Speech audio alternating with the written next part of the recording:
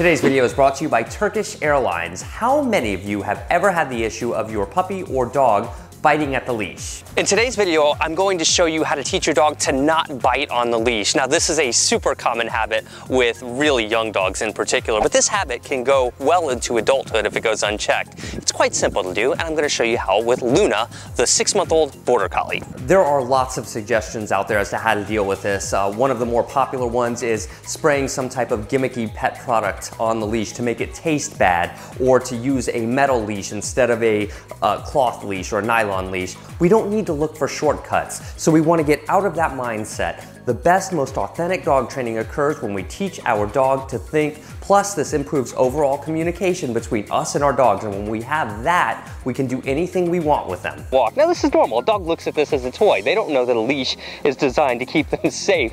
They might just think it's a toy. So we want to discourage this. Now, the easiest and quickest way to do this, you should be using treats in general with your training in the beginning anyway, so you should have them on you on a walk. Usually a dog who's doing this will find great satisfaction by you pulling the leash or trying to pry it out of their mouth. They'll simply think you're joining in the game. Remember, tug of war is a very instinctive game for a dog to play, and there are plenty of places for tug of war to really benefit your training, but this isn't one of them. The first thing we want to do is interrupt the behavior. You can see she's really into this right now. Now I've got Turkey over here, okay? I'm gonna break her attention. Hey, what's this?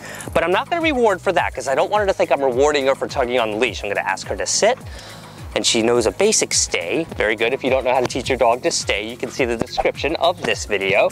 The reason I'm asking Luna to sit and stay is because I've worked with her for a little bit and I know that she's likely to get into training mode uh, by asking her to do that. That'll get her in the mood to learn a new concept. Uh, this could be as simple though as asking your dog to look at you, for example, if you've taught them that. However, if you haven't really done any basic or really initial beginner training with your dog, you're not ready to teach them this. Now I'm gonna attempt to take a walk, but I'm anticipating. I know that she's likely to try and bite the leash again. That's normal. If she tried to do it a moment ago, she'll probably try and do it again. So we're gonna walk. Good girl. And actually, she didn't bite the leash there, so I'm gonna reward her and let her know that I like that behavior. Come on, girl, let's go. Yes, good. Come on, over here. Keep walking. Yes, good, nice work. And right now, I'm just walking back and forth but I'm watching her. I'm, I'm, anticipating the fact that she might do it. I'm not just going to assume that it's fixed because she did it once. Never do we train a behavior in one fell swoop. You know, we train it in little bits and we have to be consistent over time. Once you feel like your dog is getting this basic concept, it's time to up the difficulty level a little bit. We want to interrupt their thought process the moment they think about biting the leash. Wherever you can set up training exercises, you're going to be much better off because that means you are in a position to give all of your attention to your dog. Let the emphasis of all of your training be on yes, not no. Up here, look at me. And I've already taught her watch me so I can get that attention onto me. Watch me or look at me is a vital skill. You can see the description of this video if your dog doesn't know how to look at you when you ask, okay, now she's, now she's going at it again. So I've got to interrupt the behavior. I can use the treat. Uh-uh, sit, yes. Good girl, I'm just giving her a tiny bit of turkey there. Nice work. Yes, good. Did you see that? I was able to wiggle the leash. She's learning.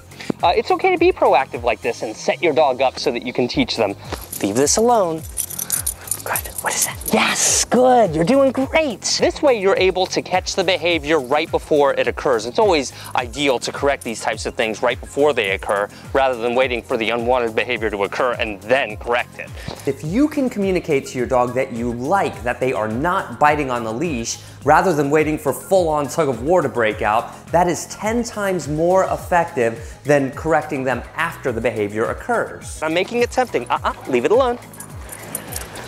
Look at that. She learned so fast. Luna is just perfect. I think if she was a person, she would be an elite athlete. Speaking of which, have you guys seen the latest Turkish Airlines commercial? It is an epic face-off with Kobe and Messi. These guys are two talented athletes. Uh, really entertaining commercial. If you have not seen it, you can either click the annotation here on the screen or check the description of this video, but it is a must-see. Let me know what you think of it. The best type of teaching happens when you teach from the inside outwards. Teach your dogs to think and you'll have great great success. Hey, like me on Facebook too, facebook.com slash George. If this video was helpful, make sure you click thumbs up and tell me if your dog had this problem when they were a puppy in the comments below or if you're dealing with it right now. Always looking for new suggestions for new videos. You can tell me that in the comments below as well. And we'll see you guys in the next video. Bye.